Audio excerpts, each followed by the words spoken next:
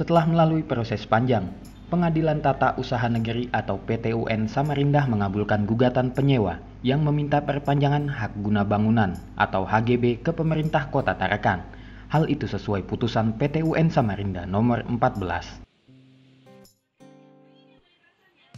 Ketua Tenan THM Plaza, Ferry Limuang menjelaskan, surat putusan telah dikeluarkan pada 16 September lalu Adapun amar putusan tersebut berisi menolak permohonan penundaan pelaksanaan objek sengketa dari para penggugat. Keputusan tersebut berisi 6 poin dan merekomendasikan Pemkot Tarakan memperpanjang HGB penyewa di kompleks THM Plaza. Meski berharap perpanjangan HGB, namun pihaknya menegaskan jika para penyewa memiliki hak bangunan yang berdiri di THM Plaza Hal itu dikatakannya lantaran bangunan tersebut merupakan properti yang dibeli oleh sebuah perusahaan pengembang. Menurutnya THM Plaza bukanlah kawasan pertama yang menjadi kasus antar tenan dan pemerintah daerah di kota Tarakan.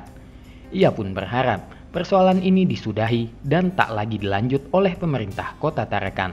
Apalagi di tengah pandemi, ia mengaku para penyewa juga terkena dampak perekonomian dan ditambah permasalahan tersebut maka membuat beban tambahan bagi penyewa di THM Plaza. Kendati gugatan dikabulkan, namun Ferry menegaskan jika pihaknya bersedia dan siap jika Pemkot kembali mewacanakan pertemuan untuk bermufakat dan mencari solusi. Ia pun berharap pihaknya dapat berkomunikasi langsung dengan wali kota. Terutama dalam sisi ekonomi, karena terus terang ekonomi kita sangat terpuruk ditambah lagi pikiran beban untuk masalah ini. Ya kita sudahilah.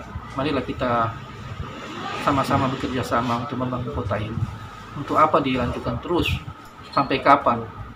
Hanya akan menghabiskan waktu tenaga dan pikiran saja. Jadi kami mohon ya sudahlah. Mari kita kerja sama-sama. Nggak usah bikin polemik macam-macam lagi. Kita sudahilah semua ini yang kita mau kita mau supaya masyarakat tenang, Bapak juga tenang. Kita fokus kepada kemajuan kota ini.